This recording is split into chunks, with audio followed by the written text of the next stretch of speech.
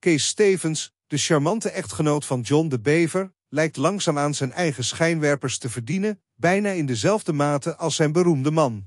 Terwijl John regelmatig wordt uitgenodigd voor film- en theaterpremières, krijgt Kees tegenwoordig ook stevast een uitnodiging op zijn naam. En tot grote vreugde van velen gaat Kees maar al te graag op deze uitnodigingen in.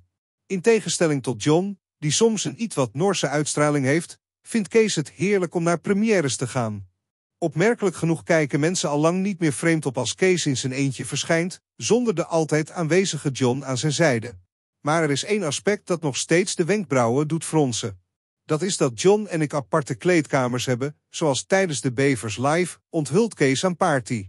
Zijn vroege aankomst in het theater, rond 1 uur 's middags, stelt hem in staat om te socializen met het personeel. John daarentegen arriveert pas tegen 3 uur middags en eist dan een bank in zijn kleedkamer op om even een dutje te doen.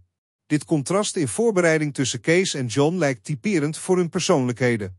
Terwijl John de voorkeur geeft aan rust en sereniteit, omringt Kees zich graag met een feestelijke sfeer. Ik blijf het liefst overnachten in de stad waar John en ik onze theatershow hebben opgevoerd, voegt Kees toe. Na een succesvolle voorstelling, zoals in Terneuzen in Zeeland voor een enthousiast publiek, voelt het voor Kees als het winnen van Wimbledon. Hij wil dan ook graag nog even napraten en een bakje koffie drinken met de mensen die in de zaal hebben gezeten, alsof hij deel uitmaakt van een groter feest dan alleen de podiumvoorstelling. Het lijkt erop dat Kees Stevens niet alleen de man achter de beroemde John de Bever is, maar ook zijn eigen stralende persoonlijkheid heeft die steeds meer erkenning verdient.